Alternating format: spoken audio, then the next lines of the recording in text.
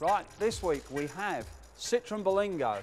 Now, one main problem with the Berlingo we'll find is not at eye level. We need to look up on the roof where we've got the anchorages for the roof bars. These will rust and can also cause water ingress into the van. Look for that. The second thing, because we've got a dead flat panelled van, look down the side of that van. Look down the side, make sure there's no ripples, no damage. They can take severe damage on those panels.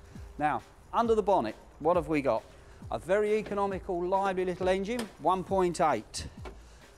We will return out of this round about the top end of the 40s, around town 42, that's not bad. But we have one Achilles heel we need to look for under this bonnet. The engine will suffer bad oil leaks on the front lower oil seal. This will leak onto the cam belt, the cam belt will deteriorate and we can end up with a damaged engine, i.e. cylinder head and valves. This can happen even at 20,000 miles. Get it checked. The second thing under the bonnet is corrosion. It will suffer under here and we can already see on this model, even though it's on an R plate, very bad corrosion setting in under these wheels. And on this side as well, the seams heavily rusted. Make sure you check it out. Make sure you have something done about it. It can be very expensive. Now, to the interior. On the interior of the vehicle, again, we suffer a car-derived van which they've put no thought again into luggage or any other sort of equipment put in the front for the driver. No spaces for documentation or anything. But the one thing they have put in the van is a keypad. And this keypad is an alarm. You can isolate the vehicle, punch in your own key number and away you go. Now they stopped putting that in after 98 but it's a good attribute. If you're looking for one of these, look for one with a keypad on. Let's have a look in the back. What have we got?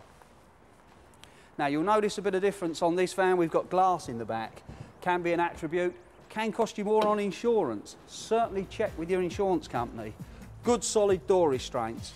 And this time you can see in the back exactly what you can do.